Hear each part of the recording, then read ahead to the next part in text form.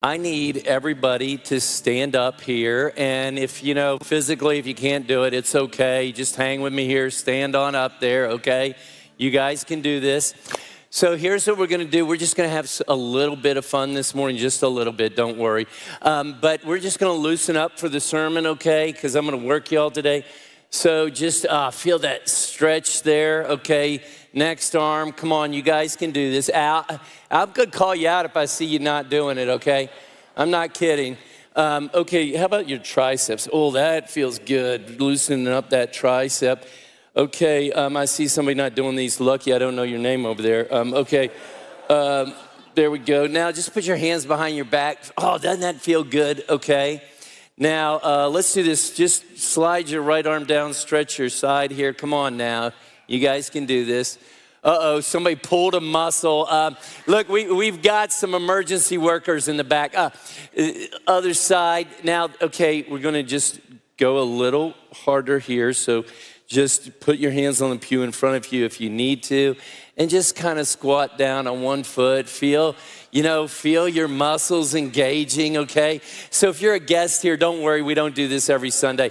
Um, now do your next leg, okay? And now here's what we're gonna do, or here's what we were gonna do. I marked out a little course in our parking lot. Y'all, I'm not kidding. 0.33 miles. So three laps, you're gonna get one mile we were going to have a not so fun run today, okay? A, not so fun run just to get you warmed up for the service. And, and um, I was gonna say, if you get lapped, it's okay, then you can just come in. But I've been asked by our facilities team to not do this because you'd get the carpet really wet and you'd get your pews wet. So, fortunately, this hour, now before you act so happy, I had a donor who said $1,000 for first place. 500 for second and 250 for third. So, anyway, you can just sit down in this hour. We don't know about next hour, though, okay? Now, I am looking out at some of my friends here that are a little more competitive than others. I'm actually looking at one friend that I know on Strength Finders competition is his number one strength. I will not call him out. But you know, if, if today we didn't get rained out and you were going to do this fun run, some of you would have been a little frustrated with me, right? Neil, I didn't get to prepare. I don't have the right clothes on.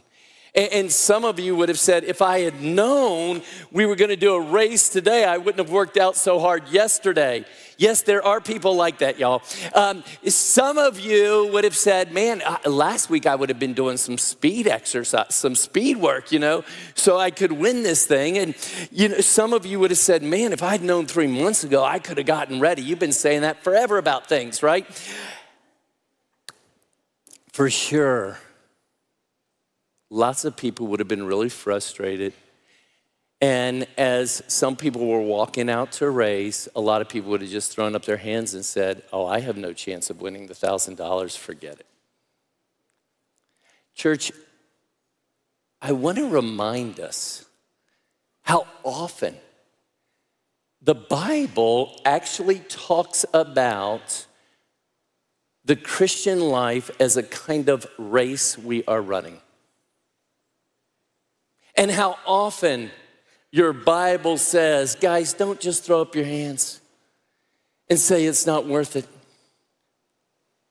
And how often the Bible talks about generations of Christians like ours, where there's just really difficult things going on, whether it's distractions to our faith or whether there's deceptions about our faith, or whether there's distortions about our faith, and how the Bible says, listen, you stay in the race. I want you to turn this morning with me to a probably a one page letter in your Bible. It's called the letter of Jude. I want you to turn there. We're going to do two weeks on this here. If you can get to the book of Revelation, the last book of your Bible, you can find Jude by just going back one page. If you don't have a Bible, you can use the Bible in the pew in front of you. And I think it's page 964. We're going to look at the book of Jude. And I want you to know that Jude is writing to a group of people, believers. And, there's this distractions to their faith, distortions to their faith, um, deceptions about their faith is causing divisions in the church. And what's really scary about this deal Jude is talking about, it's not just something that's coming from the outside, it's coming from the inside. And Jude's message that I want to talk about over the next two weeks is this you strengthen yourselves to contend for the faith by doing what I'm going to call faith specific exercises. Got it? You strengthen yourselves. You don't just throw up your hands and say, Oh man, I'm so confused. I don't know what else to do.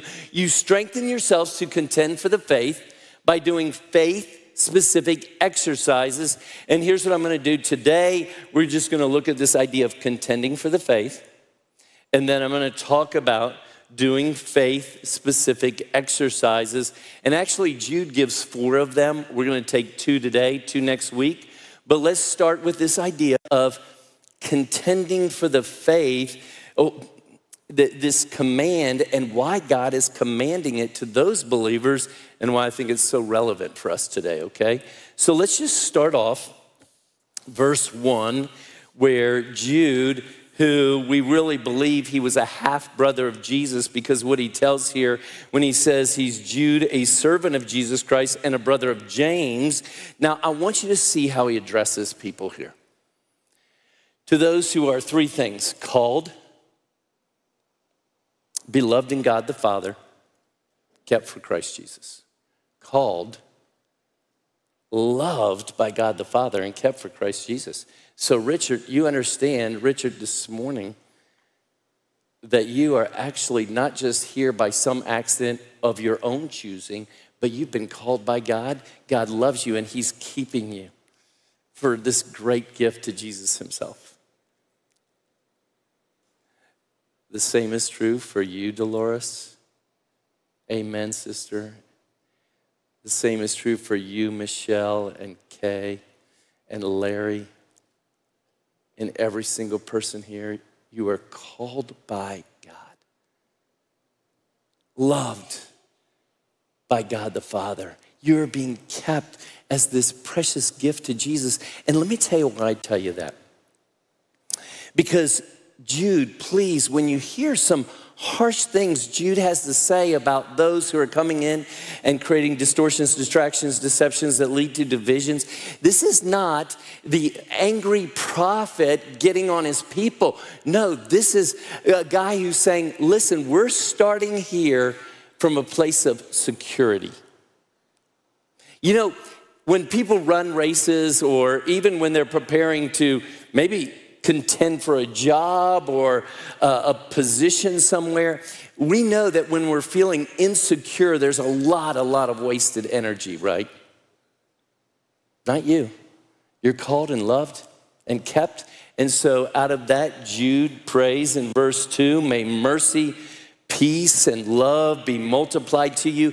And he's really praying, church, expecting, yes, you guys, not only can you run the race, I expect that God wants to give you the fuel necessary so that you might succeed. Verse 3 Beloved, although I was very eager to write to you about our common salvation, let me, let me say something about our common salvation.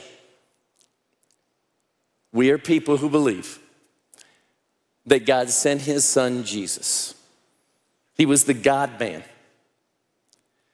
for, for a world that had fallen, God created this beautiful creation. He sent in place a redemption plan through Jesus that He is um, working and that He wants every single person here this morning to believe this. Jesus Christ lived a perfect life. He died on a cross and he rose again. And all who believe in him have life forever with him. That's what we are hoping. And, that, and, and Jude says, I just wanted to talk about how beautiful, how awesome that is that anybody here can come to God, not based on your moral performance, but based on what he, Jesus has done for you. But he says this I found it necessary, if you continue in the verse, he says, I found it necessary to do something else, to write appealing to you. Yo, the word appealing there is a super interesting word. It's the same word we get the word Holy Spirit from. It's the word that means this to come alongside. Y'all hear me say, Jude is not simply the angry prophet here. He's like a coach who comes alongside and says, You know what? I know, I know that you can do this. God loves you, God has called you. You're kept for Christ Jesus. He says, I write appealing to you to contend for the faith. Now, y'all, if you're still not clear why I'm dressed how I am normally dressed, somebody said, Neil, you have a really nice outfit on today. I said, Oh, Sunday morning is my normal outfit, whatever you normally see me on Sunday morning. This is how I just want to dress when I'm at home during the week. But I want you to know why I have this normal outfit on today the word contend. That word over and over again is used for the word athlete engaging in an athletic competition, fighting a battle. It's the person who says, I'm gonna jump in the fray, even if it's a little rainy outside. I'm not gonna let it keep me from getting out there. That's the word. And I really do, church, when we think about what we're gonna, we're talking about here the next two weeks, I want you to think about it this way God has called every one of us to go out there. And he says, contend for the faith. Now, I want to say something here. You notice the text says this for the faith that was once for all delivered to the saints. I want to ask you, how did you receive your faith? It was delivered to you. Church, it was not something, when we talk about the true faith, as he's gonna say later, the most holy faith, please hear this. When we talk about the faith, we're not talking about something you discover in and of yourself. You know why I have to say that, right? Because we live in a culture right now that says all of these things that are happening is you just need to discover what's right for you, right? And, and so here, here's, here's why I wanted to pick Jude to talk a couple weeks about Jude because we live in a culture right now where lots of believers that I know are really wrestling with, gosh, Neil, I just, I don't know what to make of all these questions wrapped around sexual identity. And it doesn't seem to match up with what the Bible has to say. And it seems like people are really feeling certain things, or, or, or even about an election coming up that we've talked about. And how do we, how do we keep holding on to this idea that you, if you've believed in Jesus, you are primarily your first allegiance, your foremost allegiance, you are a citizen of heaven. And you do all with that in mind. And how do I live that out in a real world, in the real country I live in, in the real state that I live in, in the real city and neighborhood I live in? Or, or more and more,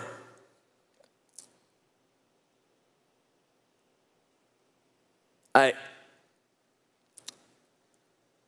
I hear people talking, believers in Jesus.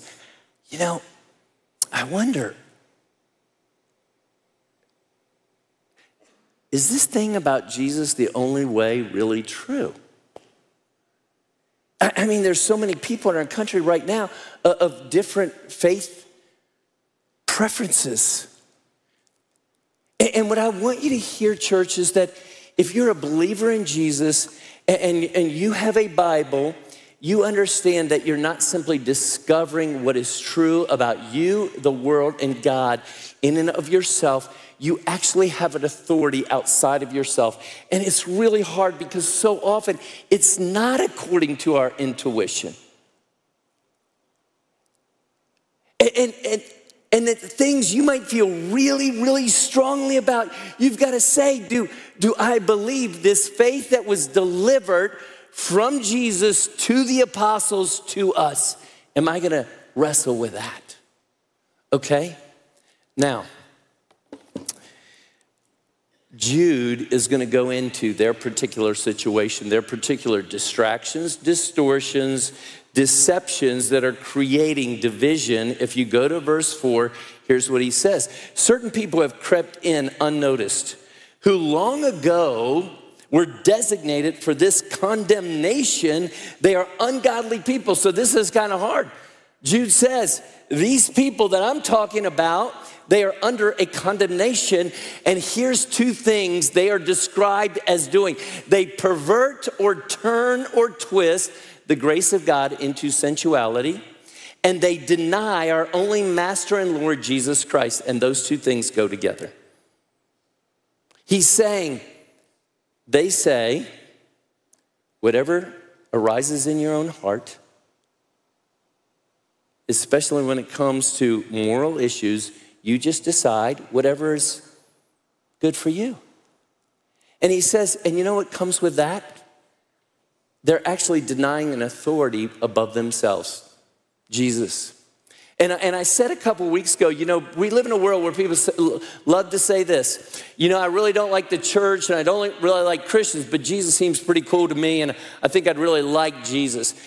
And, and again, I would say to us, when, when we talk about this, are we saying, listen, I'm for whatever this Bible says, and I'm gonna bring myself under the authority of all who Jesus is, all that Jesus says and all that Jesus stands for. And you know, even as I was preparing this, I thought some people are going to say this Man, are we really making too big of a deal out of things here? And what Jude's going to do in verses 5 through 15 about the people in that day, he's going to let you know beyond a shadow of a doubt, it's actually a really big deal to God. And he gives two sets of three divine judgments, and to those, he adds a bunch of little extras. So you get about 12 mentions of the judgment of God. I just want to look at two of these today so we see how important it is for us to contend for the faith, to get out there and run the race, even if it's a little rainy at times, okay? Look at verse 6. No, let's go to five. Jude says, I want to remind you, although you once fully knew it, that Jesus, who saved a people out of the land of Egypt, afterward destroyed those who did not believe. Y'all, this is a reference to the time when the nation of Israel, God frees them from Egypt. He's taking them to the promised land, and they are on the cusp of winning their prize. And, and two spies are sent into, uh, 12 spies are sent into the land. Two come back, Joshua and Caleb, and say, Let's go for it. We can win this thing. The prize money is ours, the land. And 10 say, There's giants in the land. Oh, it's raining out. I'm not dressed properly. And, and the whole, the whole nation starts whining and says, we can't do this. This is ridiculous. And, and you know what they do? They pick up stones to stone Moses. And then they say, It would have been better that we had died in Egypt. It would have been better if we would just die in the wilderness right now. And before we're too hard on those people, you know, they're just doing what, what we do today. They really are. They're just saying, you know, this is so counterintuitive. God's saying, go fight this battle. We're not prepared. We didn't dress for it. It's raining out. All, all these kinds of things.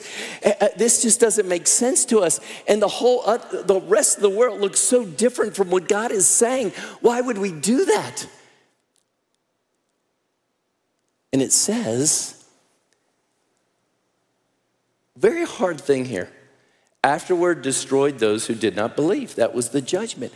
Y'all, and before we're too hard on this, on God here saying, man, God was kind of rough on them. I want you to understand this is how God's judgment came at that time, and it's how it often comes. God gave them what they asked for.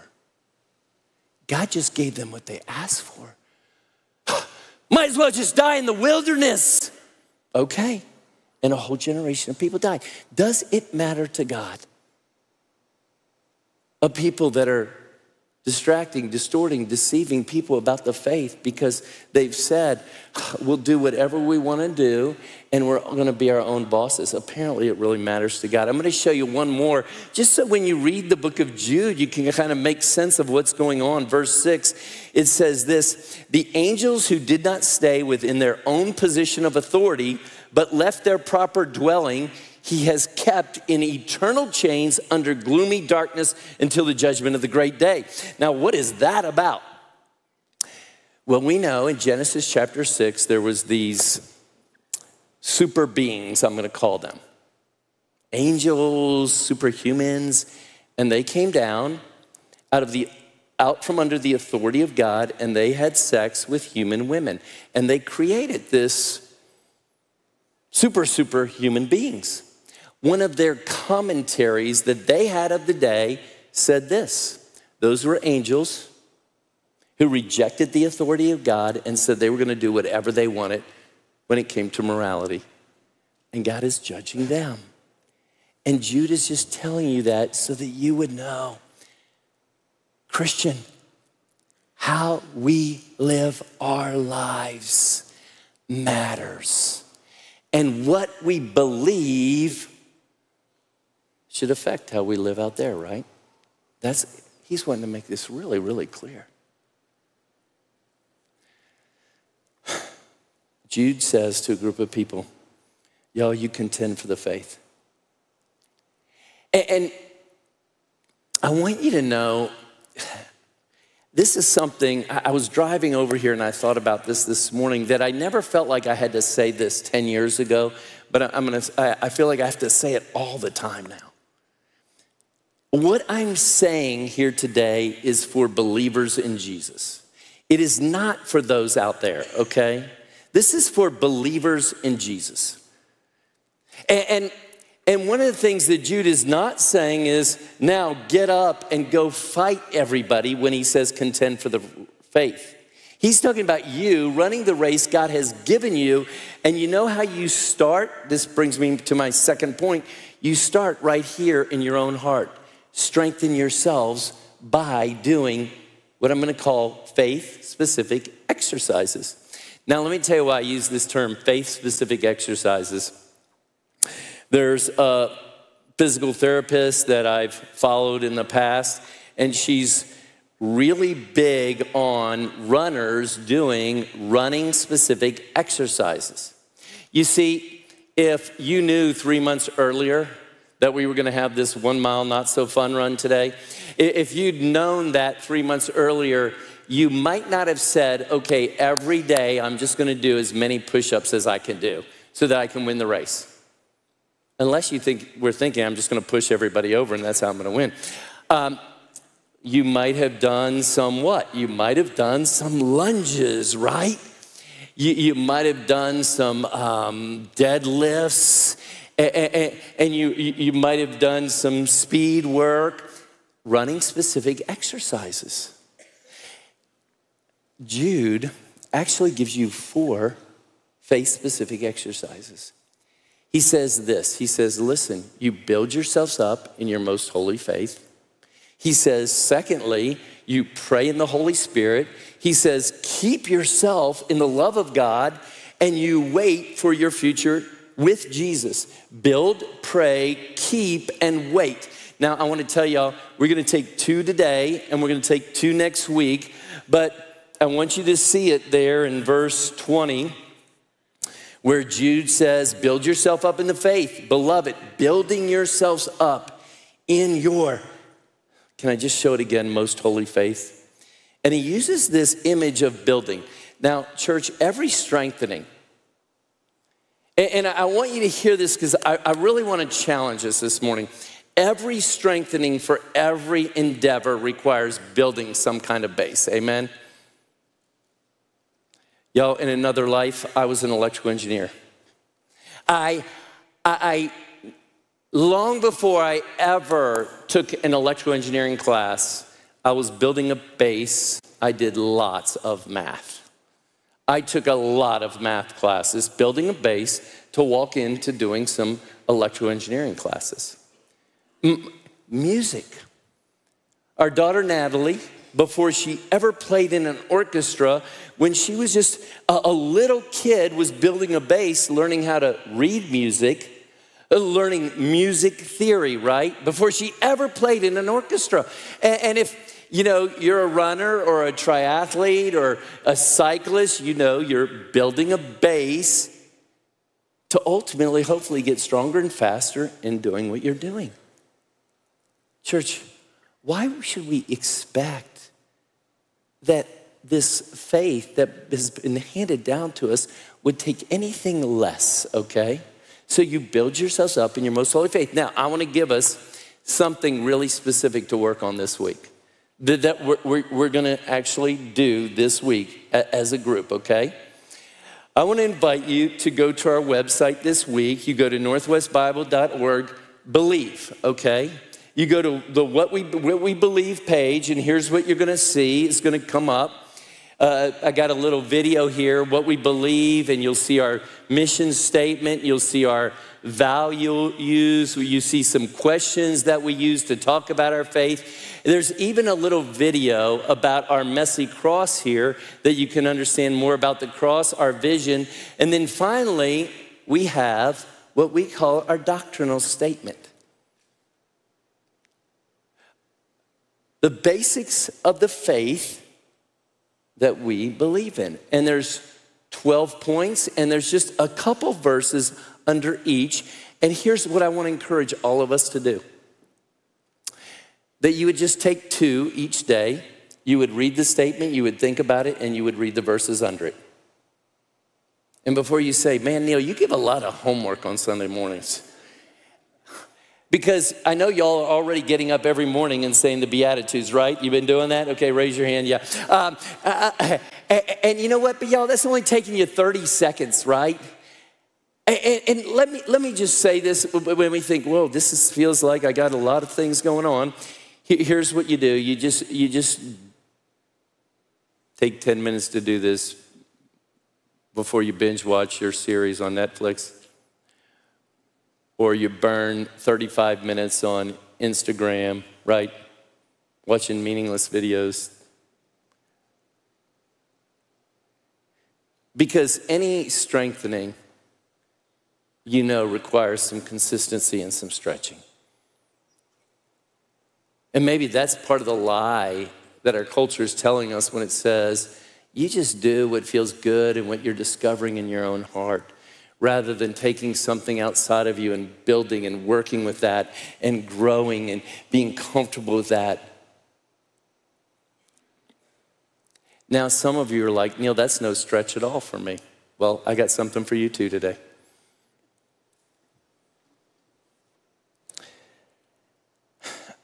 There's a little series called Exploring Christian Theology.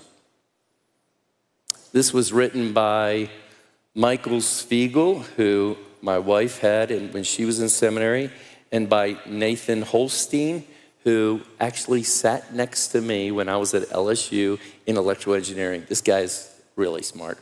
Um, and, and, they've written something for not seminary students, but for people in the pew and what you could do is, if you're really serious about strengthening your faith, you could um, get these and you could just, when you look at our doctrinal statement, you could just find the spot in this book. Now, I'm going to tell you why I'm telling you this today, y'all, why I'm pressing us on this. You know that there was a time when, when people trained people to spot counterfeit dollar bills. What did they do? They just made them look at the real thing over and over and over and over and over and over and over and over and over again. Y'all, I can't even keep up with all the issues going on in our culture today. I, mean, people come up to me, Neil, what do you think about this? I'm like, whoa, I, I, I'm still back on, you know, number one, two, three, four, five, and six, okay? But you know what all of us can do is build yourself up in your most holy faith, just studying the real thing. Okay? Secondly, and I'm gonna put these two together here, so hang with me. Notice he says in verse 20, here's your second faith specific exercise. He says, pray in the Holy Spirit. Now, I want to talk about what this is, what it isn't, and I want to show you a passage that's very similar to this. In Ephesians chapter 6, Paul says this praying at all times in the Spirit. Now, church, when we say praying at all times in the Spirit, I want you to understand why I point that out is that this is how all prayer is done. This is not just for special people who have a special form of prayer. And form is important, right? Because if you go to the physical therapist or a trainer to do your faith, uh, running specific exercises, they're gonna say, hey, when you do those deadlifts, let's get some good form going here, okay? Eh, our form is important here, and we pray at all times in the Spirit. So, what is that? What does it look like? Why do we say that? I want to show you a slide here about your whole Christian life. Ephesians, we're or Galatians, we're told to walk by the Spirit. In Romans, when it, it talks about how do you deal with the temptations in your life, the sin in your life, it says, put to death the deeds of the body by what? The Spirit, right? In, in 1 Corinthians 12, it says, really, people say Jesus is Lord by the Spirit. When you come to worship here, when you worship privately through your whole life, Philippians 3 3, that the true believers, they worship by the Spirit. I'm showing you this because I don't talk about this enough that our whole Christian life is guided and motivated by the Spirit. Got it? That, that, that when we talk about desperate dependence on Jesus, we understand that the Spirit of Jesus, the Holy Spirit, comes and lives in you, and that we're motivated and guided by the Spirit. It's the whole of the Christian life. And so, when we talk about prayer, what are we saying? Maybe it's this two things here motivated by the Spirit. When you pray, anybody here ever wonder how, how should I even pray? Anybody here ever not very motivated to pray? Praying in the Spirit. Holy Spirit, help me right now to pray for my family, to pray for my children, to, to pray for my church. Holy Spirit, help me to pray for how I'm going to interact. Holy Spirit, help me to pray for my non believing friends. Holy Spirit, motivate me to pray because I put on my um, to do list this week several times to pray and I actually didn't do it. That's me. Motivated and guided by the Spirit. I want to show you something here when we go. I want to go back to our um, We Believe page, and I want you to see, I want you to see this first one. Church, want to know what we believe about this book? We believe the Bible to be verbally inspired Word of God without error in the original writings, and the supreme and final authority in doctrine and the practice of our lives. And so this tomorrow you're going to read 2 Timothy 3:16 and 17, which says this, all of scripture is inspired by God or breathed out by God. Peter says it this way there's no prophecy of scripture that was given without the Holy Spirit's working. All scripture is inspired by God and profitable for teaching, for reproof, for correction, for training in righteousness, that the person of God may be adequate and equipped for every good work. So when I say motivated and guided by the Spirit, I want you to y'all know almost always when I pray, I have my Bible out. The Holy Spirit guided this, revealed the will of God through this Bible. So, part of how you pray, motivate it, help me, Holy Spirit, guide it by the Spirit is you just pray. What is revealed to you in Scripture. So, this week, here's how they connect. Tomorrow, when you read that doctrinal statement, when you read 2 Timothy 3.16 and 17, and then you think about it, and then you say this, you just pray. God, help me to see that this Bible is your word. Help me to trust in this Bible as your word. Because all scripture is inspired by God and profitable for teaching. And God, right now, through the work of your Spirit, I pray that you would teach me what I need to learn. For correction, Holy Spirit, search me and see if there's any hurtful way in me, as the psalmist wrote. Um, help me to see where correction is necessary in my life. That the person of God may be adequate and equipped for every good work to go out there and run the race. God, help me say yes to you in every way that I can. Uh, help me say yes to your word by, by the work of the Holy Spirit so that I might be all that you want me to be as your called person, as your loved person, as your prize to Jesus. And I pray in Jesus' name, amen. Got it? Know what we're doing this week? Church? So, when one of those things that just kind of freaks you out about what's happening in our culture comes your way this week, I just want you to think about this. Strengthen yourself to contend for the faith by doing faith specific exercises.